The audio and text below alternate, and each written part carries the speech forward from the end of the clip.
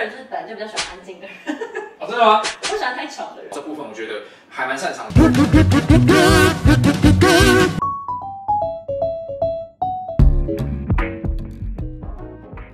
欢迎来到 Alex 雅丽士的频道，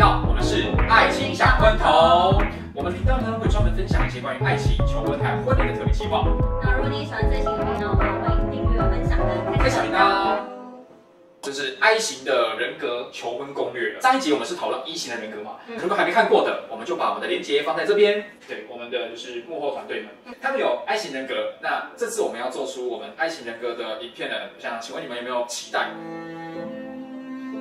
很干净。谢谢。对，这就是 I 型人格，不用期待他们会给你回应。我老我老公是爱情的，我们是很难诶。那个朋友聚会认识的，就可能在一个聚会里面，很多时候我们在讲话，嗯，然后 I 就在旁边。因为我个人就是本来就比较喜欢安静的人，哦，真的吗？我不喜欢太吵的人。对，就是因为我很多话想讲，所以我就觉得如果很跟很多一型人在一起的话，我会觉得感觉都没有办法讲话。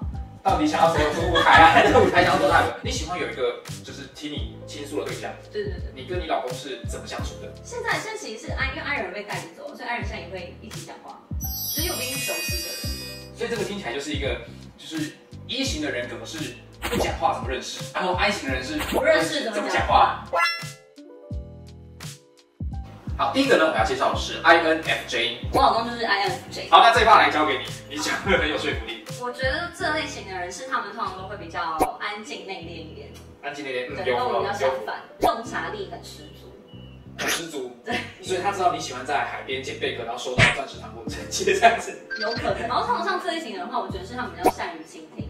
那可以问一下，就是你是他第几任吗？我是他第二个女朋友，哦，那不错啊，那确实是升级派，可能在第一任、第二任就已经走到结婚这样子。代表很深情，对，很神奇。代表人物除了你老公之外，那还有一些像是就是那个车银优，是是蛮帅的吧？对像是 I 人，就是他是跳舞都很害羞啊。能是吗？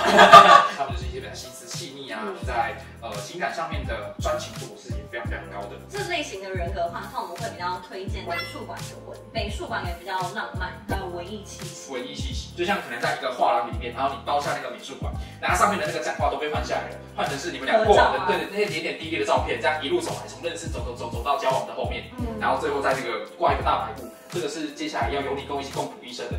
哦，是蛮浪漫的吧。我被自己搞麻了。INFP 这个人格呢，他们本身呢是一个呃外冷内热的人，可是他们其实只是慢熟，他人非常非常好。你会觉得说跟这个人相处在一起，其实不会觉得什么压力感。这些人呢，他们会比较有那种同理心、共感能力会比较高一些，他们会有一种爱充满无限可能的感觉。对，恋爱脑对对对对对对强力带破。强力逮捕，我其实有些 follow 的都知道说，终究是发生什么事情。对，那也可以看得出，强力逮捕，因为他是个恋爱脑，所以才有办法去承受那些 drama，逮捕哥啦，真的给你赞。他们比较适合的求婚的地点，会是比较一些私人化的地方。像我就有听过我朋友在花莲的那种民宿，他那个地方很厉害，就是他就是会帮你安排可以直接走到沙滩的那种，对，有点像那种 villa 那种感觉。他旁边是不会有其他人的，对，就算是他们两个这个景也很漂亮，他就觉得这个就是他梦想中的那种被求婚的要有的画面。接下来的话介绍的话是 INTJ，那这型的人格的话，他们属于建筑师，代表人物是 GD，全智龙啊，他们是比较属于完美主义者，嗯所以相对来说，他们对于他的另外一半啊或他的朋友，其实同样也是要求很高。会有要求。他们确实都是比较需要长远的规划。其实梦想中比较想要被求婚的方式的话，他们会希望在高档餐厅，那种精致搭配的夕阳啊、高楼、窗边的那种求婚桌，对对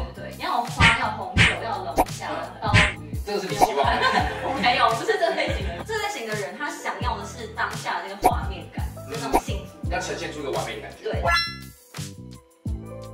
逻辑学家的一个特质，比较属于跟逻辑，然后跟一些智力挑战啊，还有一些创意等等是有关联的。理性的思考这部分，我觉得还蛮擅长的。我就讲一个代表性人物，这个音乐一出来，大家马上就可以 get 到了。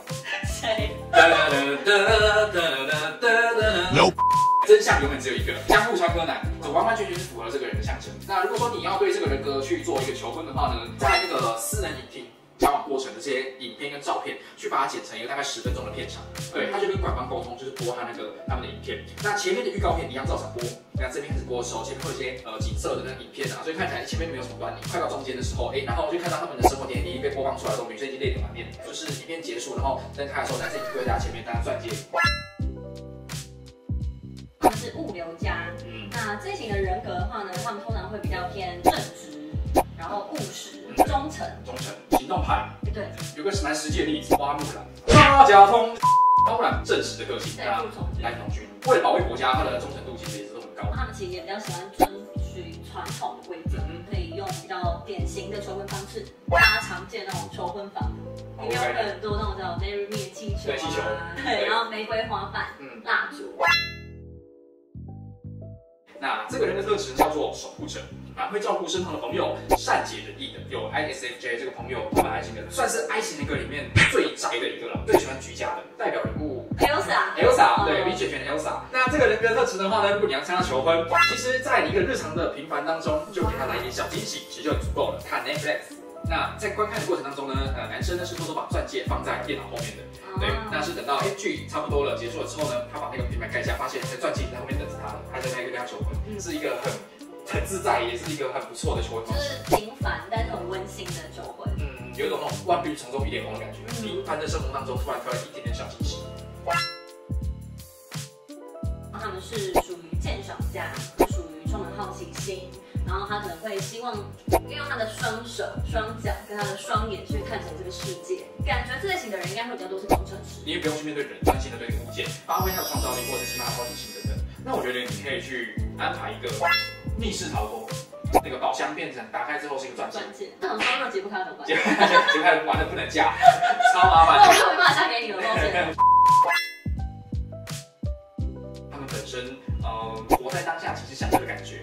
美的事物，美的事物，对。艺术家的风格，那比较有名的代表人物，他可能像是 Michael Jackson，或者像 Lady Gaga，他们本身的美感比较强。那如果说是这类型的人格的话，其实会比较建议他们的求婚方式的话，你觉得有什么？像是。在一个星空下，就掏出一个大颗的钻戒，星星还是星星的大颗，就说我从上面也摘下一颗给你，帮你们彼此创造一个私人的空间，温馨，然后私人，然后有两人世界，完整的感受到你的真挚跟你对他的爱。不过呢，这些参考都是取决于你们自己要怎么去做使用，因为每个人他毕竟还是一个独立的个体，还是要去观察一下我们的彼此的生活模式跟他喜欢的是什么。那就祝大家求婚成功。对，如果呢你们还有一些就是已经被求婚或是求过婚的朋友，或是你们自己的经验，也可以在底下留言给我们，跟我们做分享。那如果喜欢我们频道内容的话呢，可以帮我们按赞订阅来看更多。对，那我们就下期再见啦，拜拜。